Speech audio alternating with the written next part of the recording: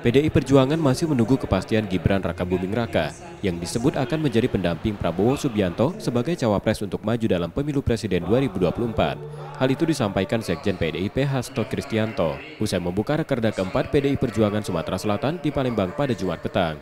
PDI bahkan telah menugaskan para kepala daerah dari PDIP, salah satunya Gibran Raka Buming Raka yang merupakan wali kota Solo, sebagai jurkamnas untuk memenangkan pasangan Ganjar Mahfud MD di wilayahnya masing-masing.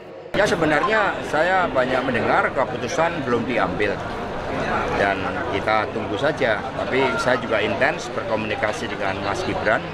Bahkan eh, belum lama ini seluruh kepala daerah dari PD Perjuangan yang muda-muda itu ditugaskan sebagai eh, juru kamnas, juga sebagai juru bicara di wilayahnya masing-masing. Saya akan sebutkan ya sebentar.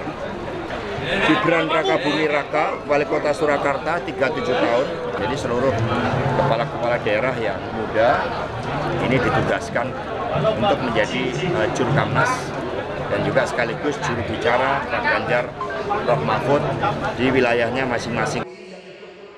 Rakerda keempat PDIP Sumatera Selatan diikuti 1.300 kader dan pengurus PDIP sesumsel, mulai dari DPD, DPC hingga DPAC.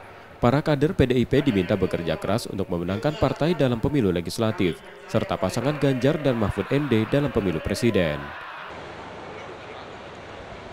M. Rizky Nurmizan, Kompas TV, Palembang, Sumatera Selatan.